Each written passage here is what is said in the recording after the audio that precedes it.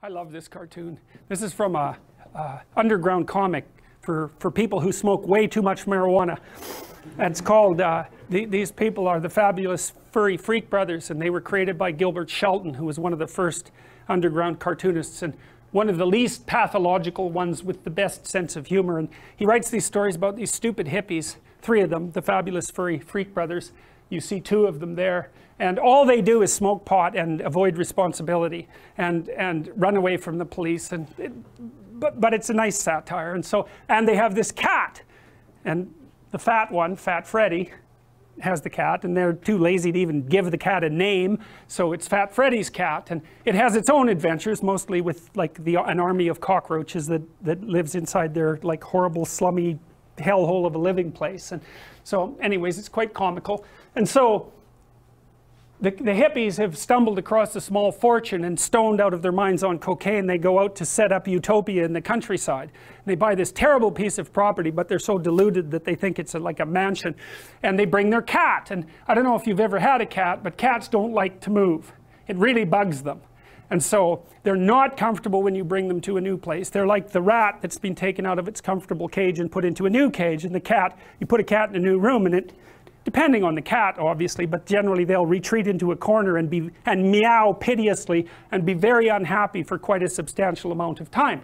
And so the cartoonist actually mapped this out quite nicely. So the hippie takes the cat out of the box and says our new home. It's they're out in the forest this is an urban cat it's never been in the forest it doesn't know what the hell's up in the forest and the cat's looking rather dubiously and thinks so this is the country and then it's put on the ground and it starts to slink as he says, slink, slink, out into the forest. And that's actually what animals do. It's a, it's a predator evasion crouch. And so if they're put in a new territory, they'll hunker down and freeze first, and then they'll slowly unfreeze and start to explore. They sniff first, and then they'll start to move. But they do it like with trepidation and slowly and try to hide. And so that's what the cat's doing. And the cat goes out into the unknown far enough, sniffing, and all of a sudden, pow! it goes underneath the house. It's like the toddler running back to the mother.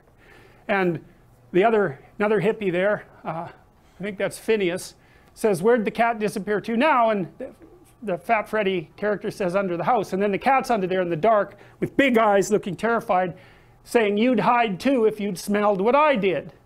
And so what it smelled was this thing that has like the head of a wolf and the, and the and antlers like a deer and the tail of a skunk and the feet of a like a chicken and horrible claws it's like well what is that well it's a monstrous amalgam of that which lurks in the unknown and so the, the cartoonist the comedian got it perfect said well what is there what is out in the unknown? Well you need one representation not a thousand. And so you take pieces of what's out there that are relevant and you create a single image out of that and you say well this is what's out there. And you might say well no such animal as that exists. And that's actually incorrect an animal very much animal very much like that exists. It's just a superordinate low resolution category. It includes all those weird animals that might hurt you that are out in the forest. That's a useful category. Weird animals that might hurt you. And that's a real category. You know you might say well there's differentiated things within that category, it's like, yeah, every category has that nature. It can still be further differentiated, maybe not protons, you know. They can even be differentiated with regards to location at least. So every category can be further differentiated. The question is whether the category has some functional utility, or at least that's one of its questions. It's like, that's the thing to be afraid of.